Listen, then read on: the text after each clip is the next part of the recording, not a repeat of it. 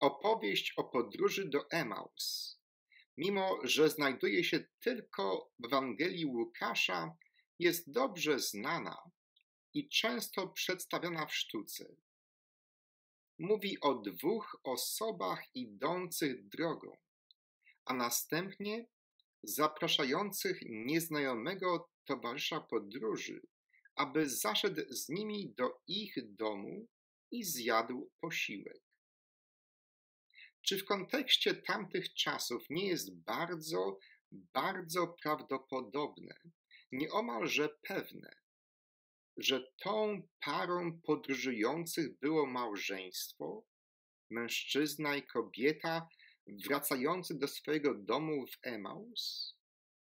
Mimo tak oczywistego wniosku, ogromna większość kazań czy dzieł sztuki prezentuje dwóch mężczyzn idących z Jezusem.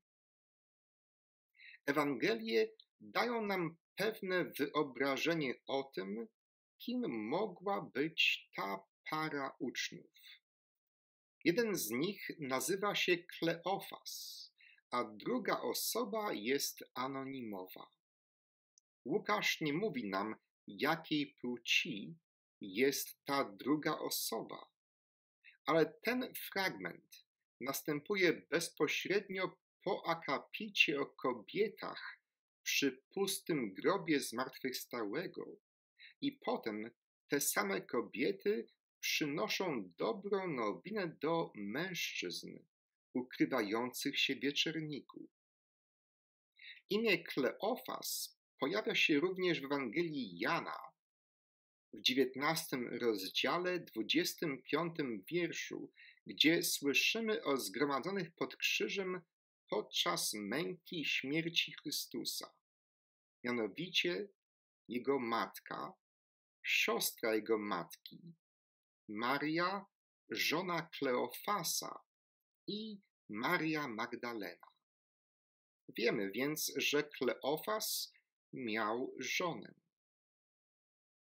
Mamy opowieść o dwojgu osób, które nie rozpoznało zmartwychwstałego Pana. Ale zastanawiam się, czy nie powinniśmy wykorzystać tej okazji do pokuty i do przyznania się do winy nierozpoznawania, a czasem nawet wymazywania wielu twarzy i głosów z naszych narracji, z naszych opowieści, tak w kulturze, jak i w religii. Ponieważ głosem dominującym w naszych europejskich i północnoamerykańskich kulturach są zazwyczaj biali, heteroseksualni i chrześcijańscy mężczyźni. Głosy, które ośmielały się być inne, tak często w naszej historii były uciszane i wymazywane.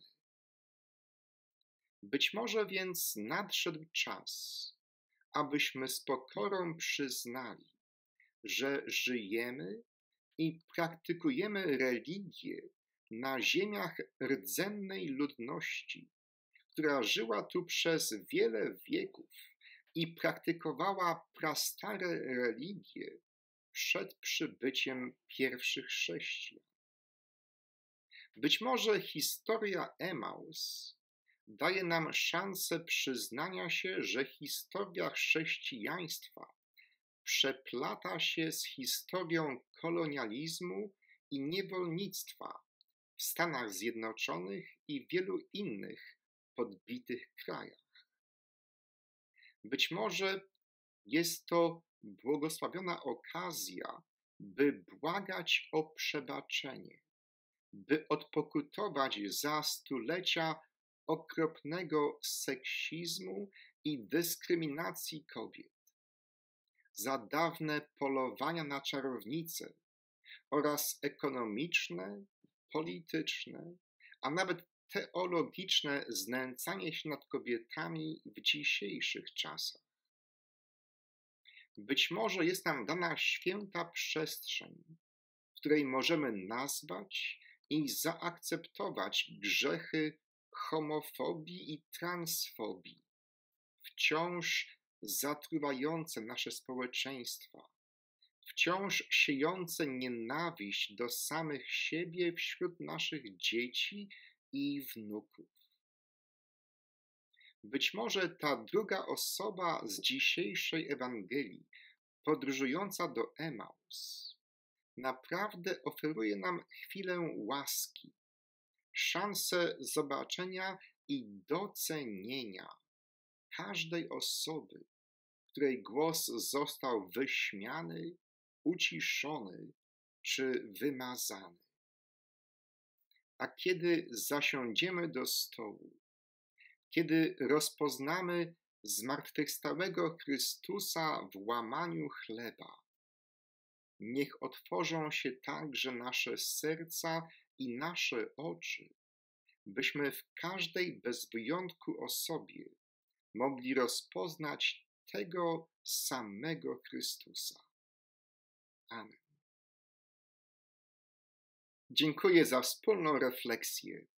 Mam nadzieję, że moje krótkie, cotygodniowe kazania pomagają Ci w Twojej duchowej pielgrzymce proszę kliknij na ikonę lubię pod tym wideo i upewnij się, że subskrybujesz ten kanał na YouTube.